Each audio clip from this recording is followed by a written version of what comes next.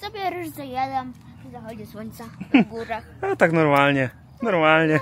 Czuję się jak w domu. Pytałem, czy na przykład możemy sobie iść gdzieś tam jakąś ścieżką, na przykład na górę, mm, gdzieś tam na szczyt tej góry, czy jednej, czy drugiej, tutaj, która jest za nami. E, To nie można, bo jest po prostu bardzo niebezpiecznie. Tak? No, a ja mam materac. No właśnie, wiedzieli, że będziemy w trójkę. Takie małe miejsce, a wszystko tu jest, nie?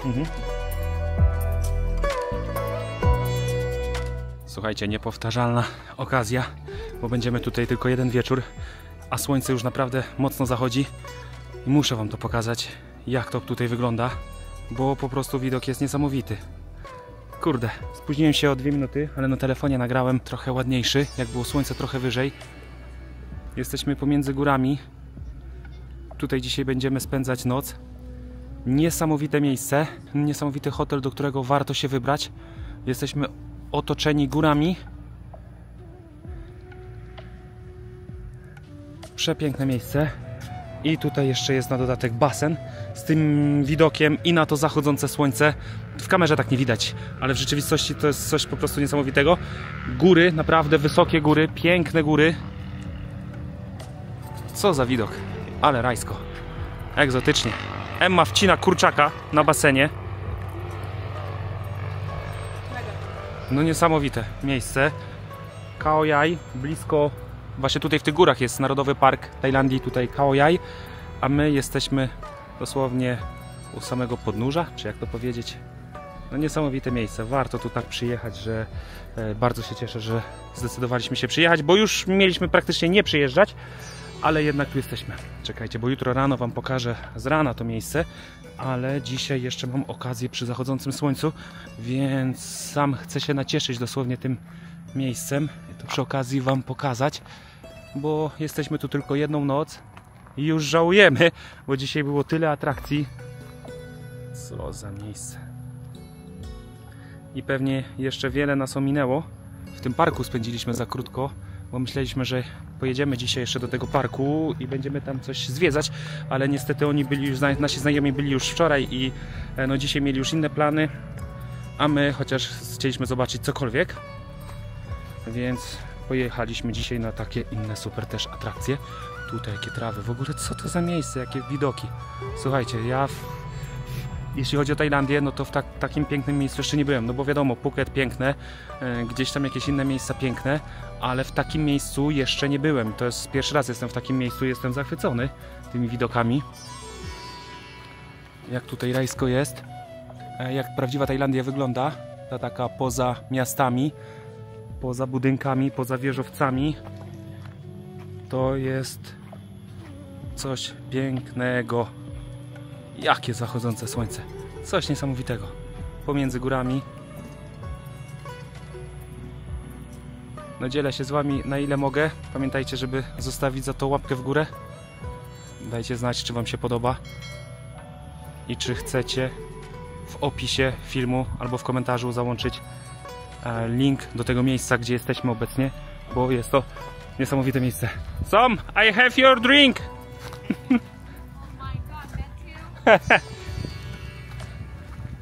Yes, really. How many? How, how many whiskey? Oh, little bit, little bit. I don't believe. Mm, yes, sure. Mm, sunset. yes, beautiful sunset.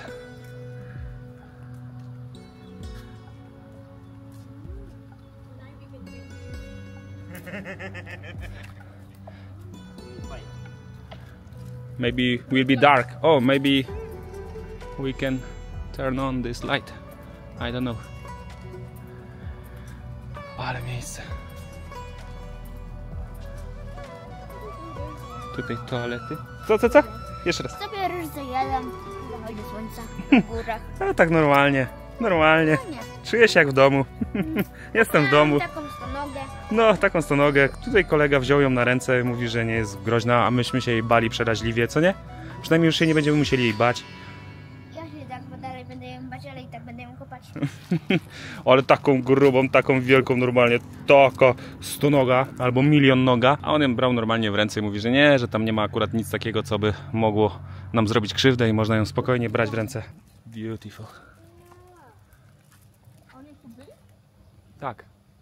Aha. Oj, tego nie lubię najbardziej. Słuchajcie, nagrywałem wideo, bardzo dużo mówiłem wam o tym miejscu i okazało się, że się to wideo nie nagrało. Nie wiem dlaczego. Mm, Jestem wręcz załamany, bo mówiłem naprawdę bardzo dużo wartościowych rzeczy o tym miejscu i to wszystko się nie nagrało. Postaram się wam tylko powiedzieć teraz w skrócie odnośnie tych gór i tego miejsca.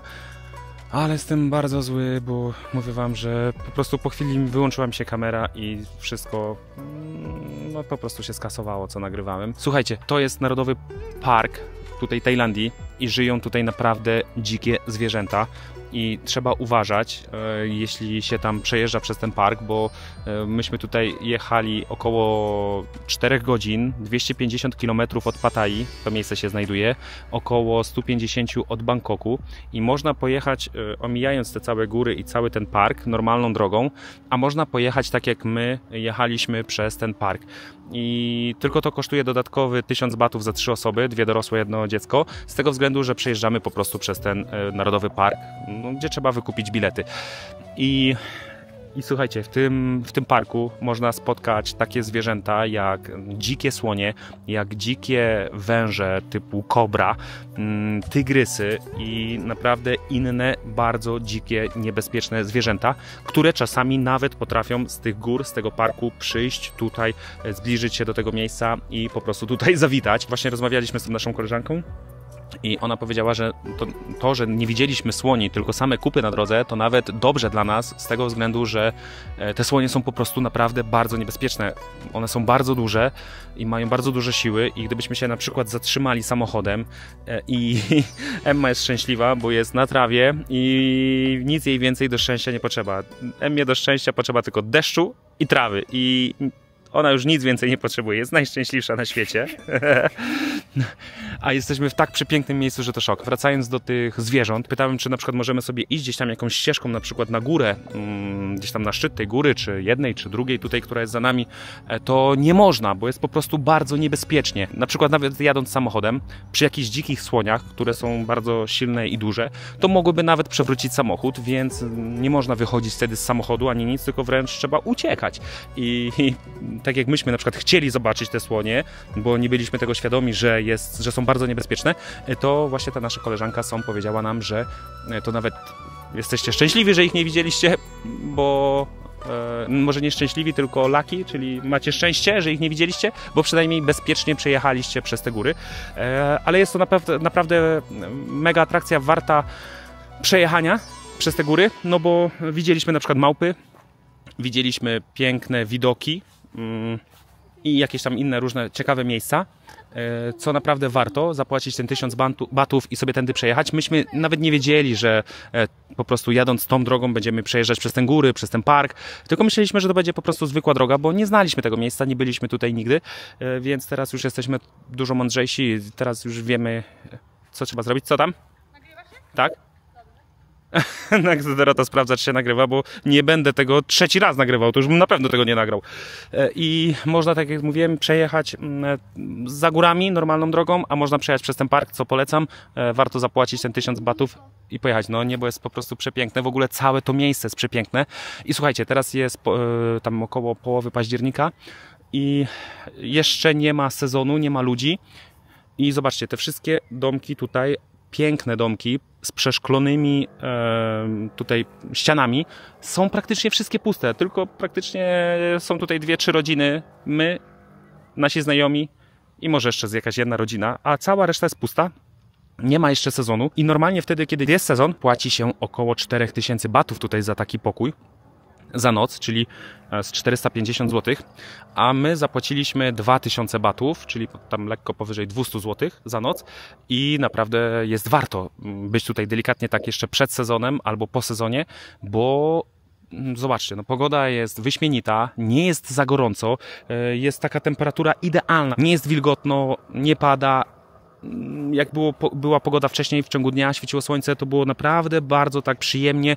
Jesteśmy tu w górach, nie w betonie i pogoda jest po prostu idealna. Warto tu przyjechać na początku na przykład października i odwiedzić to miejsce, bo nie dość, że będzie taniej, nie dość, że nie będzie dużo turystów, to jeszcze będzie po prostu idealnie, no. Chcę jeszcze coś powiedzieć ważnego. Co chcesz powiedzieć ważnego? Że my tu jesteśmy tak otoczeni przez góry Mhm. i przez to tutaj kompletnie nie jest gorąco, jest tak, tak fajnie, tak chłodno. Mhm. Nawet y, można powiedzieć jak w Polsce na lato. W Polsce na lato. Mhm. Było W najcieplejsze tak dni. No. No. no i tutaj na tych górach to w ogóle już było nawet zimno można powiedzieć, Mhm. bo no, nie było tak na przykład ciepło, duszno. Bo tutaj jest ciepło, ale nie jest mokro i przez to nie jest tak gorąco. No, no. A ten, a jak byliśmy w Pattaya albo gdzieś tam indziej, Mhm. to tam jest ym, gorąco i mokro i to jest y, najgorsze. Mhm, mhm. Jeszcze chcę powiedzieć, że tutaj jest bardzo, bardzo, bardzo ładnie. I w ogóle teraz słyszę, jak coś gadam, to już słyszę echo, bo jesteśmy otoczeni nie dość, że przez domki, to jeszcze przez góry. Mhm, mhm. I jeszcze jedna bardzo ważna rzecz. Jaka? Jak będziecie tutaj przyjeżdżać, To? czy to do gór, czy to do, gdzieś do Tajlandii, to pamiętajcie o jednej bardzo ważnej rzeczy. Mhm. Nie bierzcie takich ciuchów ciepłych, Aha. bo tutaj nawet w porze deszczowej, kiedy popada deszcz albo kiedykolwiek w roku, to tutaj nie jest zimno, nie No tak właśnie. jak w Polsce. Mhm. I jeszcze jedna rzecz, bo bardzo lubię się wypowiadać na Mhm. filmów, że tutaj, gdzie aktualnie jesteśmy, Mhm. to, jest, to jest miasteczko czy wioska, czy co to jest? Nie wiem, taka jakaś wioska. To takie Wioska, miasteczko, ciężko powiedzieć. Czekaj, Już idzie. coś. I takie w tym miasteczko wiosce jest, ym, bo kom- kompletnie nie ma turystów. Mhm. Są sami lokalni i też bardzo polecam tutaj, żeby tutaj przyjechać, żeby coś pozwiedzać, bo jak byliśmy, oglądaliśmy tam mapę, no to widzieliśmy bardzo dużo różnych e, takich punktów, co można sobie zobaczyć, więc bardzo polecamy. Mhm. I ten ostatni punkt w poprzednim vlogu był najlepszy i jego naprawdę warto odwiedzić. Mega miejsce, mega dzikie, mega egzotyczne, przepiękne widoki, przepiękne zachody słońca, przepiękne góry, dzika roślinność, dzikie zwierzęta. E, teraz słyszę właśnie gdzieś w oddali jakieś żaby, e, dodatkowo mm, te, te cykady, jakieś inne rzeczy. Pewnie jeszcze jak będzie jeszcze ciemniej, będzie słychać jeszcze jakieś inne e, dźwięki, odgłosy. Tutaj w ogóle co to za miejsce? Czekajcie, jeszcze tylko zerknę co tutaj jest. Tutaj chyba był jakiś stawik albo coś. O, tu jakieś jaszczurki biegają.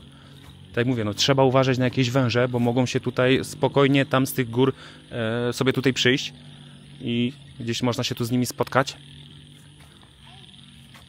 Co? No to poczekaj, to chodź tutaj, znaczy się. Patrz, jakie tu jest miejsce. Tu, jest, tu było jakiś stawik chyba, czy coś, to wyschło. Tam jakiś taki pomost jakby.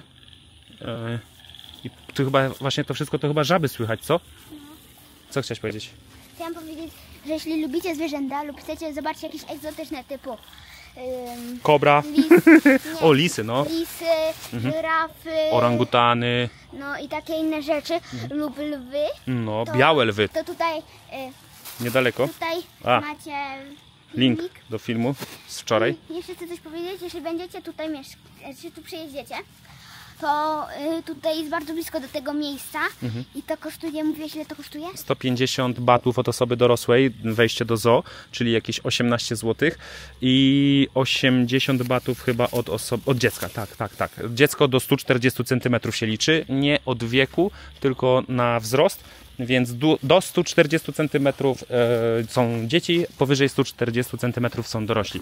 Jeszcze jedna rzecz, którą chciałam powiedzieć, to że się naprawdę tego nie spodziewałam, bo to w ogóle traf- trafiliśmy tam przypadkiem, bo ym, po prostu przypadkiem tam trafiliśmy, a okazało się, że tam jest takie bardzo duże, jest taki, Taki teren, tak? no taki teren, tam jest naprawdę bardzo dużo zwierząt, więc bardzo polecamy to miejsce. Mhm. Jeśli ktoś naprawdę lubi zwierzęta lub po prostu chce zobaczyć takie egzotyczne, bo takich zwierząt nie ma w Polsce, znaczy są, ale rzadko może nas zobaczyć, to bardzo polecamy tam to miejsce. I jeszcze chcę coś powiedzieć, chodźmy No już do szybko. domku, No że Ten. tam były nawet jelenie z rogami. No, było dużo zwierząt, bardzo dużo zwierząt. A tutaj pokażę Wam jeszcze szybko tylko jeszcze recepcję. Tutaj jest taka recepcja malutka. E, Jutro będą dla nas specjalnie śniadanie jakieś robić, bo tutaj nikogo więcej nie ma praktycznie oprócz nas. E, I, i pytali się, na którą chcemy śniadanie ekstra, specjalnie, bo wiecie, no co będą robić na 8 czy na 9 czy na coś, jak my chcemy na przykład na 10. Powiedzieliśmy, że chcemy na 10, więc śniadanie jutro będzie na 10. Nie wiemy jeszcze, co będzie na to śniadanie, ale na pewno w kolejnym vlogu Wam pokażemy, co będzie na to śniadanie. Tak, I jeszcze tam e, ta nasza koleżanka powiedziała, że e, tu e, będzie takie bardziej europejskie. Może nie być Thai food po prostu, co akurat wolelibyśmy jakiś Thai food, no ale co Ale będzie, to będzie. coś europejskiego i chcę jeszcze powiedzieć, że oprowadzimy Was po, po, domku, po naszym domku w tym wideo. W tym wideo jeszcze zdążymy? No dobra, to idźmy do... Może w tym, albo ja tu pokażę. Dobra, jeszcze w tym. Nie, w tym. Dobra, jeszcze w tym pokażemy nasze mieszkanie, a w następnym będziemy gotować, bo tutaj jeszcze nasi znajomi pojechali z powrotem drugi raz na market, bo, bo coś tam jeszcze chcieli kupić jeszcze do jedzenia i zaraz będziemy gotować, kolację, jeść, siedzieć, gadać i spędzać razem czas tutaj w tych pięknych tutaj okolicznościach. Także będzie się jeszcze dużo działo w następnych vlogach, dlatego warto subskrybować kanał, zostawić łapkę w górę.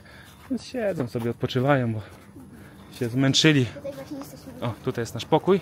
Tutaj widzimy dorkę. O, klimatyzacja chodzi, także e, oczywiście są klimatyzowane. I wchodzimy do środka. Pokój jest naprawdę bardzo fajny. Z takimi widokami. Czyli patrzcie się, śpimy tutaj. Tu jest łóżko. Tutaj się śpi i patrzy się tu. Niesamowite miejsce. Dobra, wejdę, wejdę do środka. O, Bardzo nawet. te. No, a ja mam materac do spania. No właśnie, wiedzieli, że będziemy w trójkę, dlatego pewnie nasi znajomi już powiedzieli w recepcji, że przyjadą ich znajomi, czyli my, e, jako tutaj powiedzmy para i jeszcze dodatkowo dziecko i już było gotowe, gotowy pokój był przygotowany e, z dodatkowym materacem, więc mega. To jest chyba kod w ogóle dla mnie, bo to nie jest ręcznik. To ma taki materiał. No to może, może. No to jest koc. Mhm. I jeszcze coś... Nawet jest kanapa. No to takie małe miejsce, a wszystko tu jest, nie? Mhm, mhm. I tak, co mamy? Tutaj możemy sobie coś zrobić do jedzenia, do picia. Tutaj są w ogóle nasze kwiatki, które jeszcze kupiliśmy do domu.